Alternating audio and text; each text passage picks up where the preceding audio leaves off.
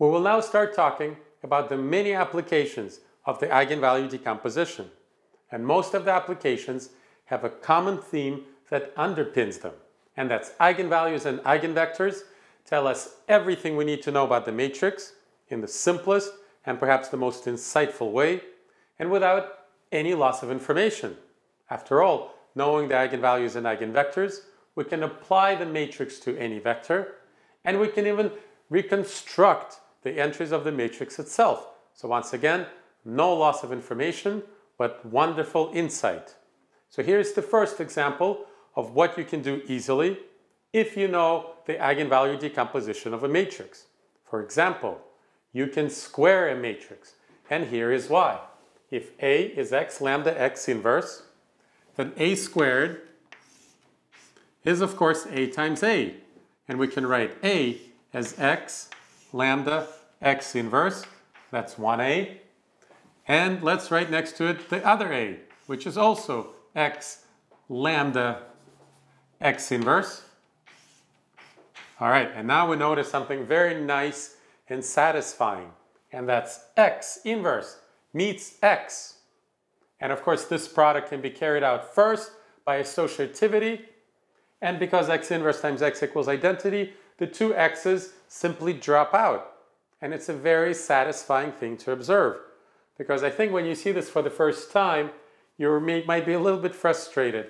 And you say, if only x was next to x inverse, we could cancel them and things would be even simpler. Well, thank God they're not next to each other and don't cancel here. Because when we put A next to A, now they come together and now they cancel. And we can learn so much more than we would have had the life been simpler. And good thing it isn't. So x inverse meets x, the both x's drop out, the both, both matrices drop out. Lambda meets lambda and becomes lambda squared. And of course, lambda squared is exceedingly easy to evaluate. That's another nice thing that's very satisfying.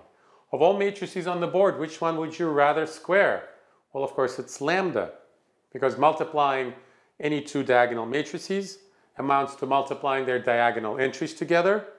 And in the case of squaring of a diagonal matrix, you just have to square each one of its diagonal entries. Nothing could be simpler. It's very quick and efficient. So the whole thing becomes x lambda squared x inverse. Let me make sure that it fit on the board. It fit perfectly. And now from this expression, we can draw a plethora of conclusions. First of all, we notice that a squared has the same eigenvectors as a, and its eigenvalues are the squares of the eigenvalues of a, and that's because this is essentially the eigenvalue decomposition for the matrix A squared. And even if we didn't call it that, we still have a diagonal matrix wrapped in a similarity transformation. And even prior to our discussion of the eigenvalue decomposition, we knew that when we saw something like that, the eigenvalues were on the diagonal and the eigenvectors were the columns of the matrix X. Well, in any case, it's the conclusion that we've come to before, but before we had to do it with our ingenuity and original thinking. Now we get it for free, algebraically. And of course, this would work with any integer power of n including negative integers, so inverses of a, as we'll see next. But I would just like to mention that of course this is not necessarily an effective way of squaring a matrix. If you just had to square a matrix, of course it's easier to multiply a by a than to find its eigenvalues, form the eigenvalue decomposition, which will of course include inverting a matrix, which is harder than squaring a matrix in the first place, and then the easy part, squaring the elements on the diagonal. And then another part, which is multiplying out these three matrices. So from the practicality point of view, it's easier to carry out the multiplication directly. But of course, as you might be beginning to gather, it's not so interesting as uh, having a squared itself. It's not as interesting as having its eigenvalue decomposition. So this approach, even though it's harder, it provides not only a squared, actually it doesn't provide so much a squared as it does its eigenvalue decomposition, which the more you interact with it, the more you realize it's more valuable than the matrix itself. So yes, this does have practical applications as well, even as far as raising matrices to higher powers. And this is especially true if you need not only a squared by a cubed, a fourth, and all the other powers of a, or many more powers of a, then it's really worth it to pay the price once and compute the eigenvalue decomposition, and then just go to town raising the power on this middle matrix, which is diagonal. Let's talk about A inverse now. And if you thought this was satisfying, A inverse will be triply more satisfying. So our claim is that A inverse has the same pattern with lambda raised to the negative first power. So let's test that. Let's multiply x, which is x lambda, x inverse, by the matrix that we now suspect of being A inverse, which is, has the same form, but lambda to the negative first power. So this right here is A, and this is our mystery matrix to be determined. But let's see what happens now. What happens now is that x inverse meets x, super satisfying. We had two products, two matrices in a product, they simply drop out. And now we have lambda meeting lambda inverse. They come together, drop out, bringing x next to x inverse, which of course drops out, leaving nothing but the identity matrix. x times x inverse is the identity matrix. So the entire product disappears completely, everything cancels, and it could only cancel if things were in this order. So what may have seemed like a bummer at first is actually the most glorious thing.